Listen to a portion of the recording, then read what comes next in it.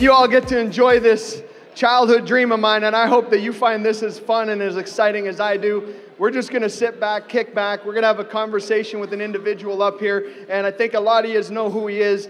I am so fired up, I can't even tell you. I was just backstage chatting with this man, and um, I know I tried to do my best uh, impersonation yesterday. I know I tried to do my best impersonation yesterday, and I feel like I could only do justice by bringing the real deal to you guys.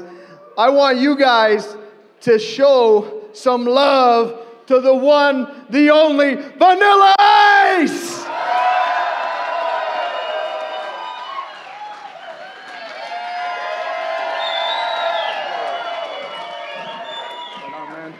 All right. Hello, hello, everybody. Good to see you. We got some comfy chairs over here. Yeah. Um, right. Okay, so we're going to start off. I just got a couple of questions that uh, we're going to ask Vanilla Ice. Um, so uh, this is exciting. Hey, by the way, guys, how many of y'all know I, I don't get nervous, eh? I don't. it's Vanilla Ice, man. Mom, Mom, Mom, come, look at, look at. Vanilla Ice.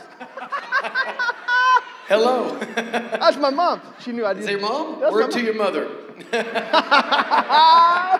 hey, not a lot of people can say Vanilla Ice said word to their mother. Man, I am so fired up. Hey, um, first question I have for you, and you want me to call you Robert Ice? Rob, Rob is good. I respond either way. Okay, awesome, Rob.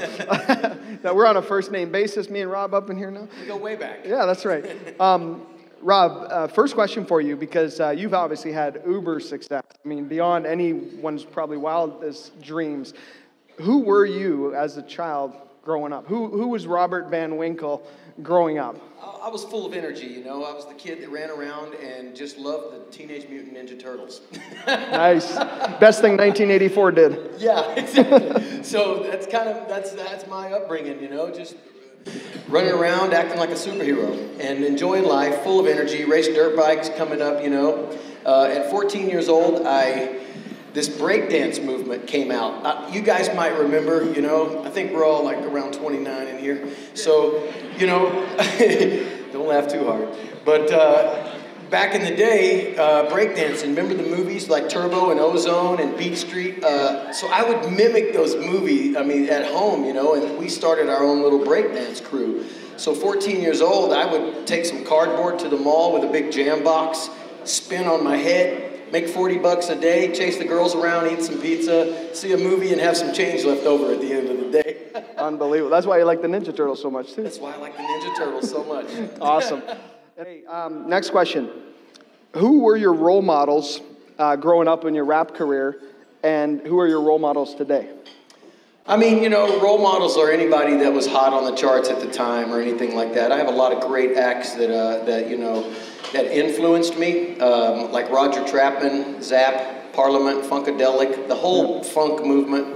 Right. I was more moved by that than the rock and roll at the time because it was just a sign of the times, you know, and um, and it, and it, it, it inspired me to. But I always loved poetry. Even my mom was like, "This is a little strange. My kid writes poetry." I used to write poetry for my mom and poetry. So all music, no matter what type it is, it's all poetry. So Yeah. um, when it became time for me to do the poetry, it had to come out in rap music because that's what I was influenced by. Right. And um, my mom says, white boys don't rap. I said, well, I do, mom, I do. And she's, and six months later, I bought her a house, a piano, and Wow. a brand new car. Amazing. So, I don't know if most people know this, but you wrote the rap song when you were 16 years old. yeah. When did it become mainstream, and when did you know that you were onto something? Because you, you didn't really set out to have this super success, really. Well, no one could. I mean, the, most sold record before mine came along was like Run DMC, Beastie Boys, and they were like gold, which was big for rap music. Gold is 500,000. Uh, once I was 19, my record started, uh, I signed with uh, Itchy, uh, I was first on with Ichiban Records, which was Curtis Mayfield's, and we sold like 48,000 copies. I signed with EMI, Mr. Charles Koppelman out of New York City, and um, and went on to sell 163 million records. And, it, and that is all from doing the Ninja Turtles, Ice Ice Baby, Play That Funky Music, and a record called To the Extreme Yep. that I originally wrote when I was 16 years old. Wow, that's incredible. So, much like uh, you went through some controversy um, back in, uh, you know, back one minute, Vanilla Ice is everywhere. I mean, you were in the Middle East, you were in China, you were in everywhere. Like there wasn't a place that people weren't, you know, bopping to your music. What, what happened? Do you feel that caused some of the, the I mean, I mean, guess I guess it's a lot of negativity. I mean, obviously the Arsenio Hall garbage that happened and that stuff. And Well, there's a lot of everything, you know. You can add a lot of different things to it, but uh, truth is, is when you do music and you're on top, you have nowhere to go but down. So what the way I look at it is, it's like when I was 16, you know, to 19 to, to 25, the the snow globe gets shaken up, you know, and it has to settle at some point. Right. And most people self-destruct.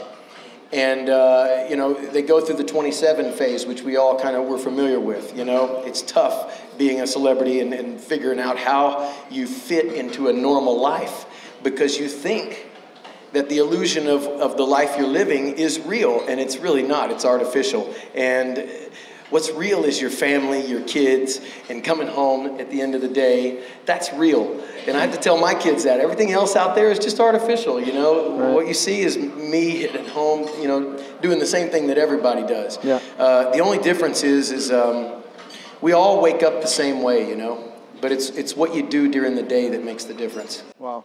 Um, what? Yeah, please. What I'm gonna what I'm gonna ask is I'd like if if two people. Um, the one rule is you have to be a ridiculous Vanilla Ice fan to ask a question. Uh, like I'm talking like me, okay? I and love the hairdo, by the way. It's just perfect. thanks, man. Appreciate it. Perfect hairdo. You still got all of didn't it up have here. my lines right. I, I should have went back to the 90s. Yeah. If anyone has any questions, I'd like to have two people come up. And, uh, and as I'm asking this question, if you want to come on up and uh, feel free to ask, uh, you know, the Iceman uh, uh, uh, any question that you might have. Awesome. Um, actually, you know what? You go, you go first.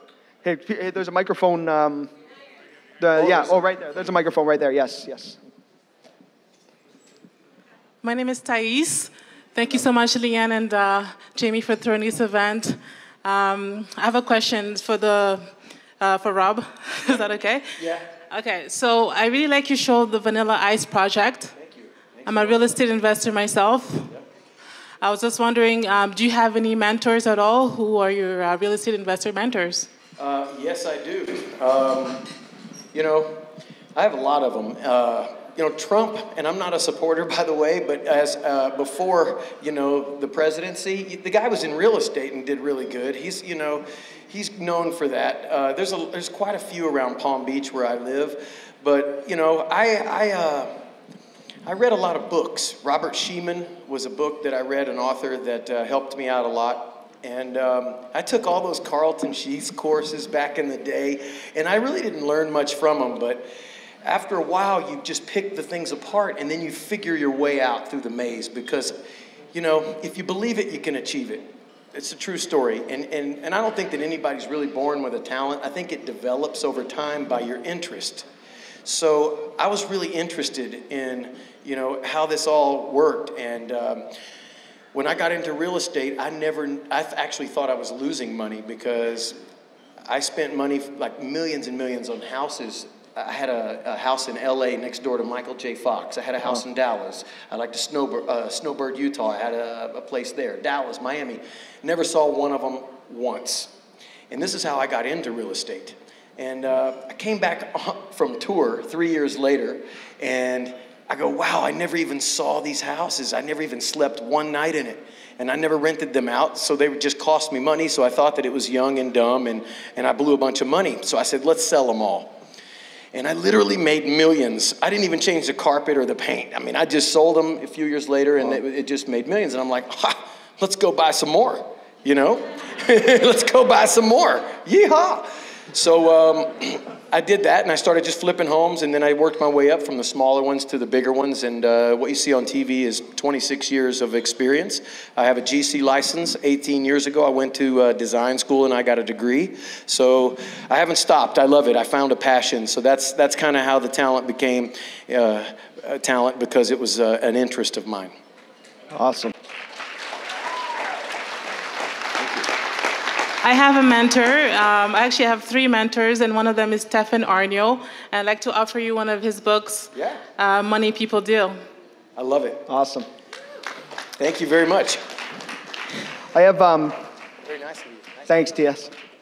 I got one, uh, another question before someone else, uh, just real quick. I just got one question here. Um, one of the coolest things that I learned about you uh, was that the people that sued you, I, not that I can relate to this at all,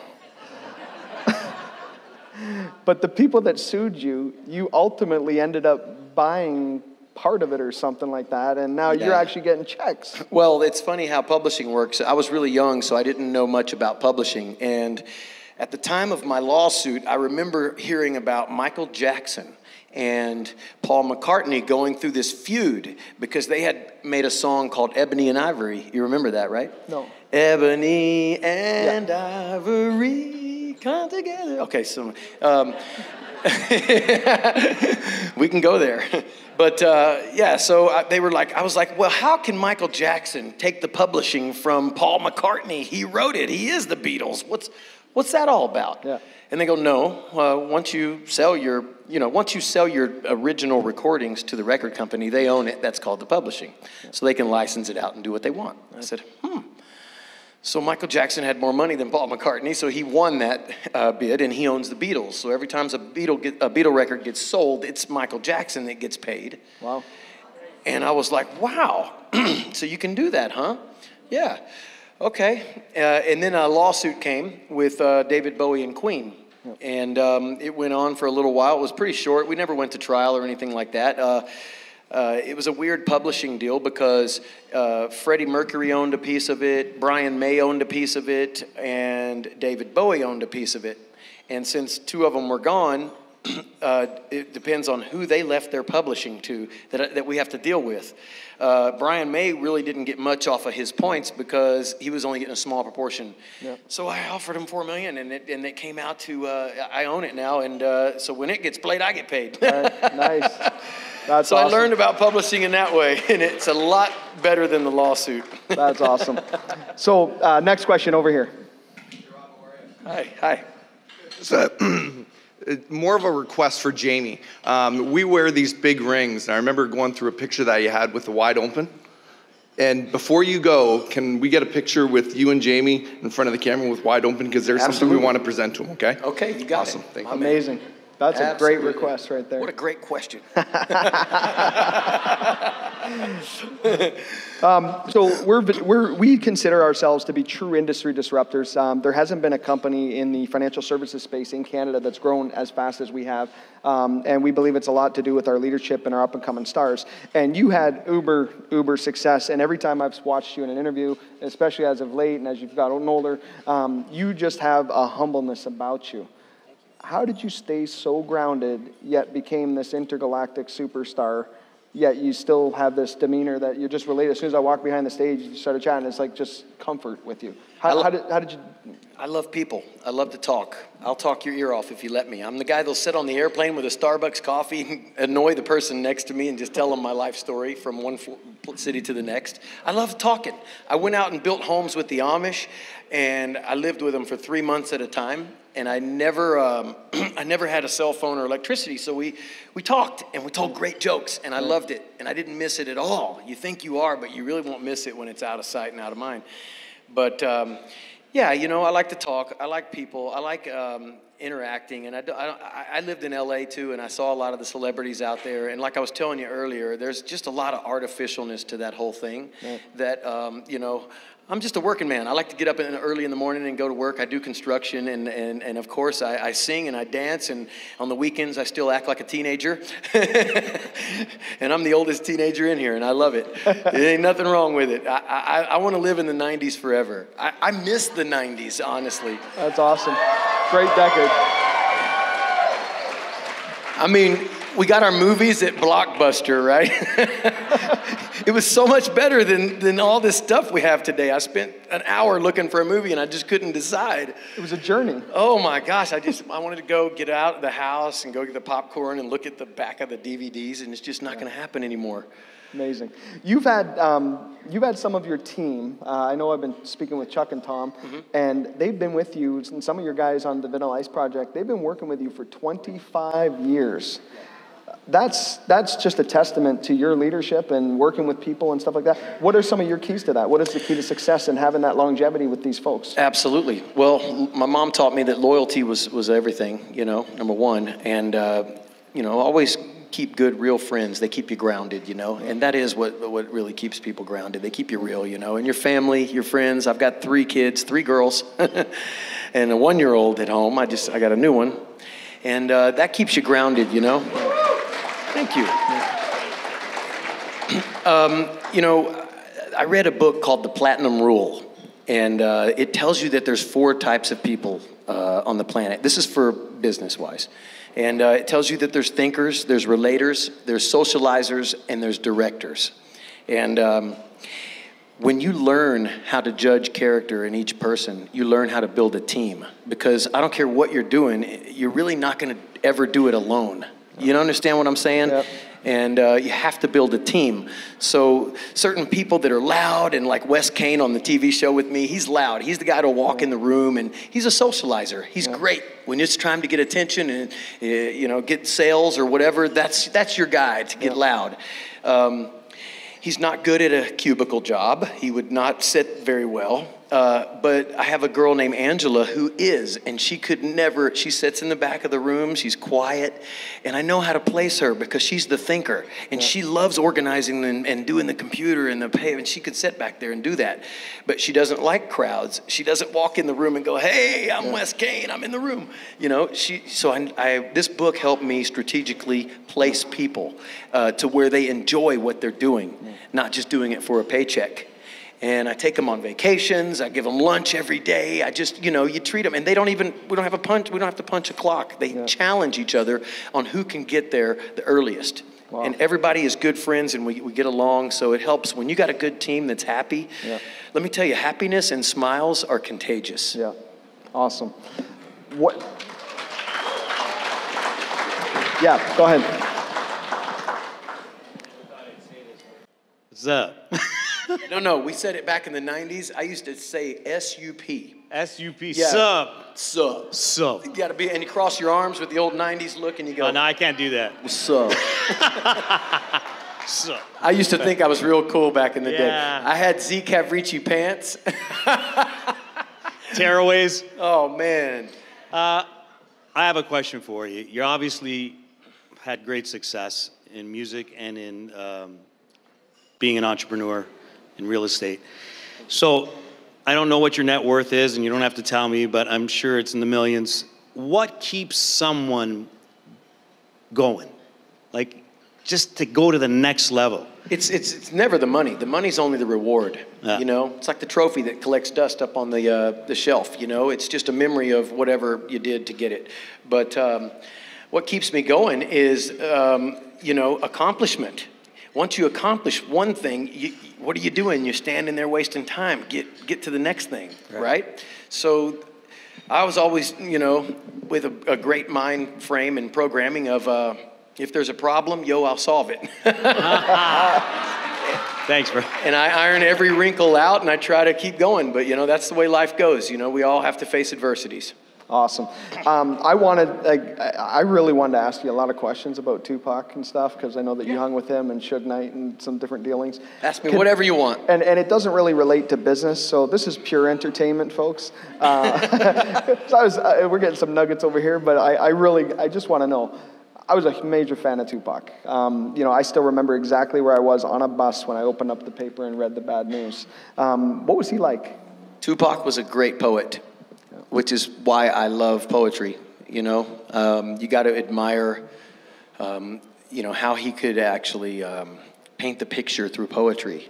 Yeah. It's amazing. You know, it's a talent, but it's also, it's a talent and art but it's also a vision that that he could he could relate. You know, it's a when you're listening to the music, you don't need a photo album.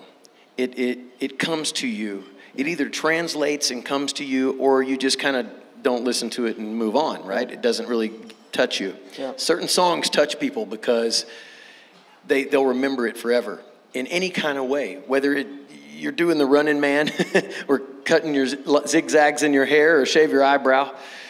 Um, you know, it's all part of what influenced you coming up and how it touched you in a way that you can remember without a f- photo album. Yeah. So, it, it- for instance, if you play Tupac, I'm sure you can remember where you were at at the time. If you play Ice Ice Baby, you remember who you were dating in high school. You probably tried to do the running man for the first time, or shaved your eyebrow, and your mom got mad at you. I did. You know? Don't forget, we're part of the generation that, you know, we invented the computers, Yeah. but we didn't grow up with them. That's right. So we're the last of the great generation, to be honest with you. Yeah. We really are. Awesome. Another question over here. Check. Hey, Rob, how you doing? Good, thank you. In 1983, you were dancing with three guys. I just and, and I want to know who those guys were on the on the um, team that you were dancing with. I'm a part of Rocksteady, New York City Breakers. Okay. So I remember back in the days, and uh, That's right. I just happened to be here. So I just thought, you know, I wanted to know who the three guys that you were dancing with in '83 on the ice on the ice. Still friends with them, man. They're great friends of mine still today, and they've gone on to be very successful. Uh, High Tech is one of them, my man Jay Huffman. Yeah. Yeah. I've got uh, E Rock, I've got Twist, I've got, and I'm still good friends with Coco. He's, he's friends with the family and everything, man. So, two of them stay in, in constant touch with me throughout the years, and we still get together. And, And- we can still dance, yes. Not, not as long, it still hurts a little more in the just- morning, but, but we can still do the moves. Well, I was just we just did a video. I was doing some stuff with not too a couple years ago with Shabba-Doo. yeah. So yeah, I know was- all the B-boys, So man. hopefully, you rock, me and Wiggles and rock me, Wiggles and Crazy Legs brought breaking here in 1984. I remember, bro. That you were in that. yeah, man. I know you. That's my party. Yeah. Come on. Yeah, yeah, yeah. And we'll Come talk on. later on, man. That's what's up, bro. Give me love. Good to see you, my man. That's b-boy love right there. I, we all know everybody from around the way, man. I tell you. Right on, man. Hey, that means when you start rapping up here, he's going to come up and dance and do some moves over here. Okay. We're gonna get the rust off. Yeah, yeah. Awesome. Another question over here. Hey, Rob. Uh, thanks for being here for this whole uh, company. Uh, I think a lot of people go through struggles. Uh, when you're at your lowest point and things were the toughest on you, how did you pull yourself up? What did you do? What things did you do? Uh, how did you uh, do your daily activities? Uh, for someone that's down right now, let's have a tough time. Yeah. Uh, what could you recommend to them that worked for you? We all get down throughout life. We all have tough times. Sometimes things don't iron out the way we all planned. But you're really never, ever a failure unless you refuse to get up. Yep.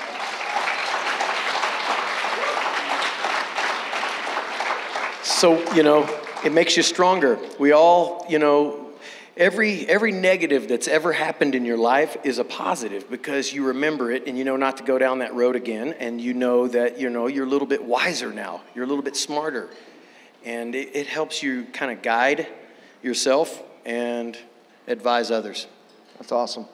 You, um, you did go down a dark path yourself for a number of years, and now you are uber happy. I mean, you're just a, just a fun-loving guy. Thank you. How did you get out of that? How did you beat that Well. I had a weekend that lasted about three years.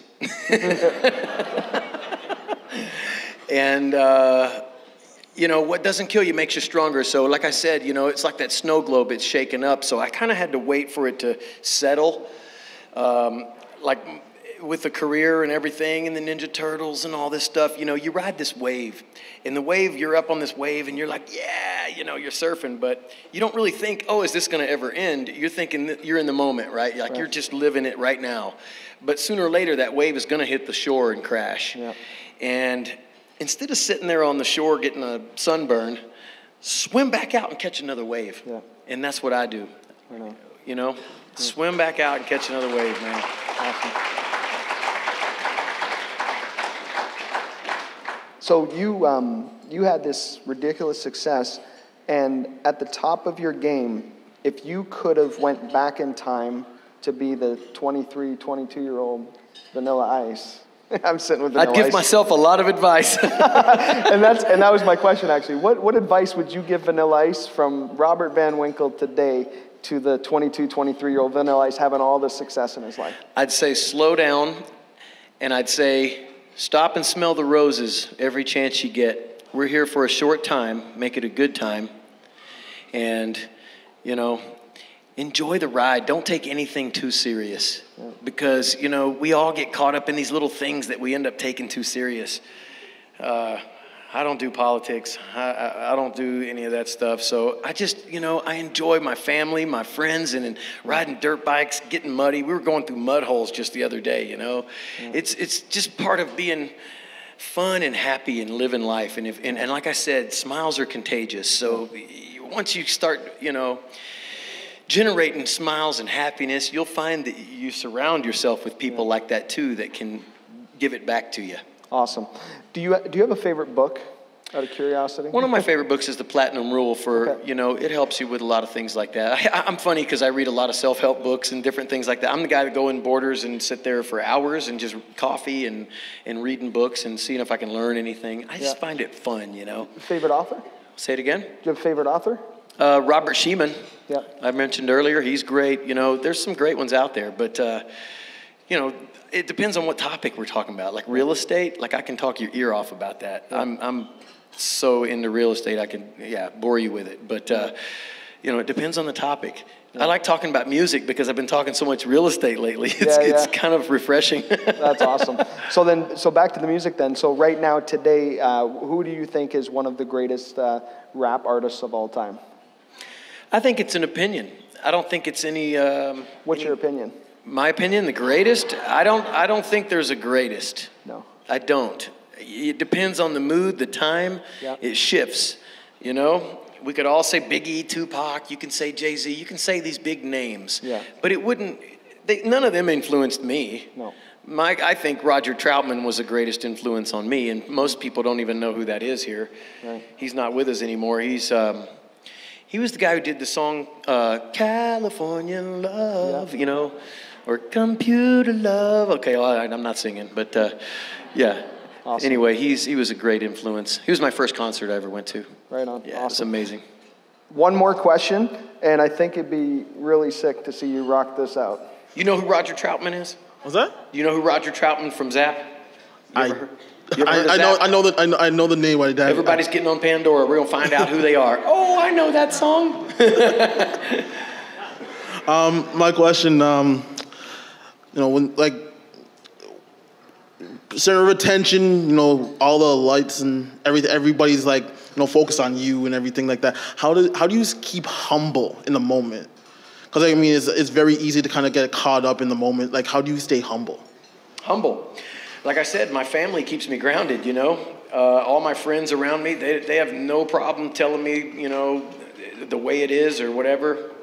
There's nobody kissing ass around me, you know. It's fun and I love, I love life and my friends that, uh, that they keep me grounded. So that's kind of what it is, you know. You got to have good people around you, man. You know, I used to, when I was younger, um, I used to have these parties at my house and stuff, you know, and a lot of celebrities and models come by and stuff. And I really didn't know many people, you know, it's my house, I guess, you know, whatever. But uh, I'd look around and I was like, you know, this is my party. I don't, I only know like three people here and there's like 300. Yeah. You know, they break a $5,000 vase. Oh, sorry, where's the beer? you know, it's, it's just mm. like, I came to a, a grips that you know it was it was really artificial, mm. and I just didn't want to be a part of it. So um, I went back to racing dirt bikes and hanging out with my mechanic friends, and mm. I, I got framers, drywallers, and plumbers as friends. You know, and, and they just they're honest working guys, and that's that's what keeps you grounded. That's awesome. Yeah. Right on. Well,